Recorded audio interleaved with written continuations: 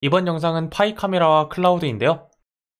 우리는 Firebase Storage라는 것을 이용해서 우리가 사진을 찍었을 때 클라우드 저장소에 사진을 저장하려고 합니다. 그렇다면 우리는 파이어베이스 스토리지에 대해서 이해를 해야 할 필요가 있는데요. 사진이나 동영상 등의 사용자 제작 콘텐츠를 저장 및 제공이 필요한 개발자를 위한 서비스이고요.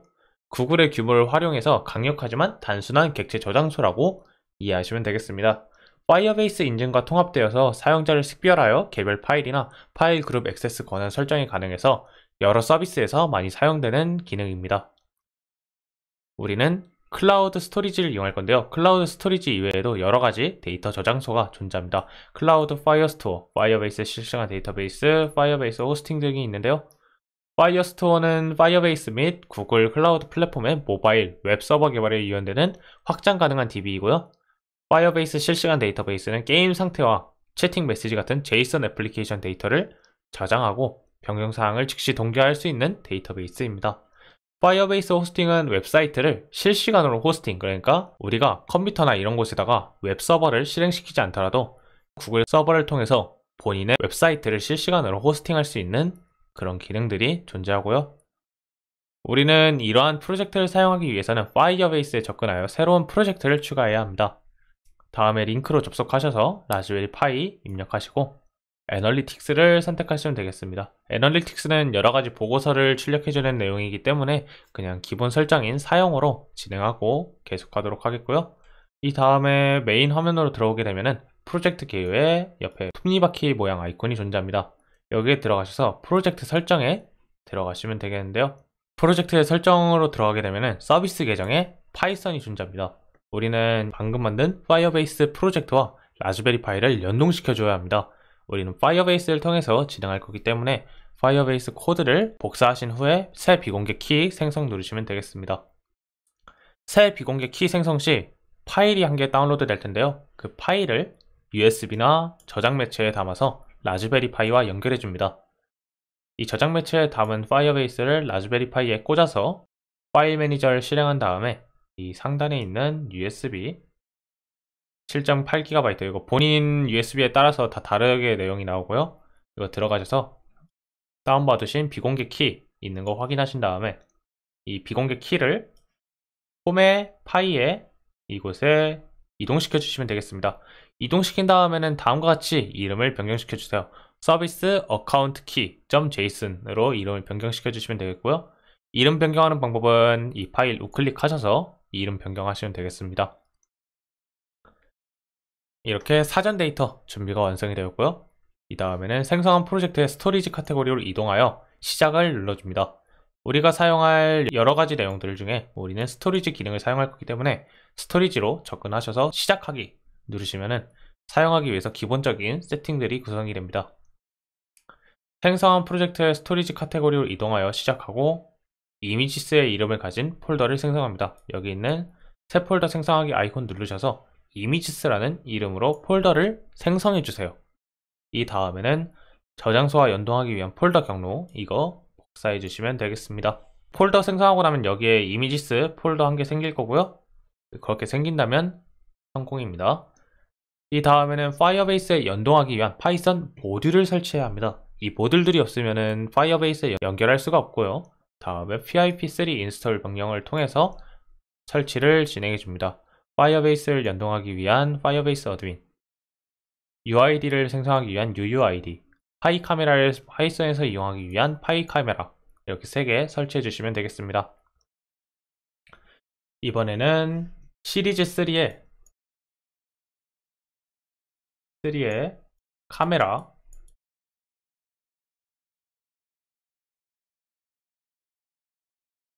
가로 열고 Firestore 안에 있는 storage 이용하려고 합니다. 이거 들어가셔서 다음에 파일 열어주시면 우리가 사용할 코드가 나와 있습니다. Pi 카메라를 불러오고 sleep을 불러오고 데이트 타임과 sysOS, 리퀘스트, 파이어베이스 어드민, 크리덴셜, 스토리지, UUID4, GPIO, 타임 등이 있습니다. 몇몇 개는 익숙하실 텐데요. 익숙하지 않은 내용도 존재합니다. 한번 설명드려 보도록 하겠습니다. datetime은 날짜를 불러오기 위한 모듈이고요. SYS와 OS는 Raspberry Pi에 입력을 받아오기 위한 모듈입니다. request는 받아온 데이터를 반환할 때 사용하는 모듈이고요. 이 Firebase 세 가지는 Firebase 연동하기 위한 모듈이고 이 아래는 설명 안 드려도 이전에 센서 설명에서 설명드렸기 때문에 넘어가도록 하겠습니다. 이 다음에 우리는 순차적으로 진행을 해볼 텐데요. 일단 프로젝트 아이디라는 변수에 다음에 내용을 적어줍니다. 우리가 Firestore에서 복사한 이 내용 적어주시면 되겠고요. GS 앞에 빼주시고 이 부분만 적어주시면 되겠습니다. 연동할 프로젝트 아이디를 입력해서 우리가 어디에 연동할 건지 정의해주고 불러올 비공개 키를 설정해줘야 합니다. 비공개 키라는 것은 Fire storage와 통신을 할 때 통신하고 있는 사람이 인증된 사용자인지 아니면 익명의 사용자인지 확인하여 허가된 사용자에게만 데이터를 주고 받을 수 있게 이용하는 것이고요. 이렇게 파일을 비공개 키로 불러온 다음엔 storage bucket이라는 곳에 프로젝트 아이디 이 내용 그대로 가져오도록 구성됩니다. 여기에다 뭐 적으실 필요 없습니다. 이 내용을 그냥 그대로 가져온다는 내용이고요. 이 다음에 storage bucket을 통해서 bucket에다가 storage와 연결되도록 구성을 해줍니다. 이 다음에는 함수 한 개 만들어줘야 되는데요. 파일 업로드를 하는 함수로 파일이라는 데이터를 인자값으로 받아서 우리가 아까 Firestore에 만든 images 폴더에 파일 이름을 추가해서 저장하도록 구성합니다. UUID4는 이제 사진들이 연속해서 올라가게 되면은 이 사진들이 이름이 동일해서 다른 사진인데도 덮어 씌우기가 되는 경우가 있습니다. UUID는 데이터 전송 시 토큰을 전송하여 잘 전달이 됐는지 확인하는 용도로 데이터 토큰과 같이 통신되도록 구성합니다. 이 아래는 파일, 파일 형태로 업로드하고 storage와 연결하는데요. 파일 이름은 이제 경로와 같이 저장해 줘야 합니다. 경로에 그리고 파일, 받아온 파일의 이름이죠. 파일을 저장해 주고 contents type은 JPEG 우리가 Pi 카메라로 찍으면 JPEG로 출력이 되기 때문에 이런 식으로 내용을 입력해 주면 은 images 폴더에 파일 이름으로 올라가게 됩니다. 이 파일이라는 것은 이제 다음의 내용을 진행해서 파일 이름이 변경되게 되는데요. subtitle, 라스 다음에 subtitle을 붙임으로써 기존에 있던 사진들과 겹쳐서 덮어쓰기가 되지 않도록 예방해주는 역할을 수행하고요. suffix를 통해서 현재 시각, 파일을 올리는 시각을 JPG 파일 이름으로 바꿔줍니다. 기존에 있던 사진과 우연으로 겹쳐서 덮어 씌우기가 될 수도 있기 때문에 다음에 datetime, 현재 시각을 다음의 형태로 연, 월, 일, 그리고 시간, 분, 초 형태로 만들어서 이름을 변경해 줍니다. 이 이름은 file name에 저장하게 되고요.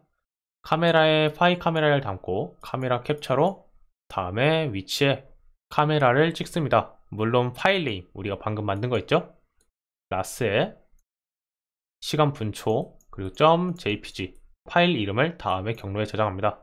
이 다음에 파일 업로드 함수 여기서 만든 거죠. 여기 이 함수를 통해서 파이어베이스에 업로드 해주면 되겠습니다. 이 다음에 메인 코드에 이거 딱 함수 한 줄만 적어주게 되면은 다음에 소스 코드가 모조리 실행되고 난 뒤에 파일이 파이어베이스 스토리지에 업데이트가 되게 됩니다. 자 그러면 이제 촬영한 이미지가 저장될 폴더를 만들어 줘야 합니다. 우리가 images라는 폴더에 저장되면 그 images 폴더 안에 있는 사진을 가져가서 storage에 올리게 되어 있습니다. 여기에서도 images 폴더 만들어주고요. ls 명령을 통해서 images 폴더 만들어지는지 확인합니다.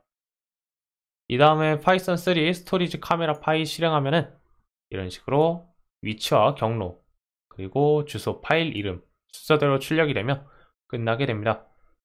이렇게 되면은 이 내용을 가진 사진이 올라가게 되고 이 사진을 클릭하셔서 확인해 보면 우리가 Pi 카메라로 찍은 사진임을 확인할 수 있습니다. 이렇게 간단하게 Pi 카메라와 클라우드를 통해서 연동 후에 사진을 올려봤고요. 라즈베리 파이 같은 경우에는 저장 용량이 생각보다 작습니다. 그렇기 때문에 클라우드에 올려가지고 많은 양을 무리 없이 소화할 수 있도록 CCTV 같은 용도로 이용할 수 있게 우리가 클라우드와 함께 연동해서 진행을 봤고요. 다음 내용을 확인해 보시면 우리가 왜 라즈베리 파이에도 저장할 수 있는데 굳이 클라우드에 저장인지 아 이래서 저장한 거구나 라고 알 수 있으실 겁니다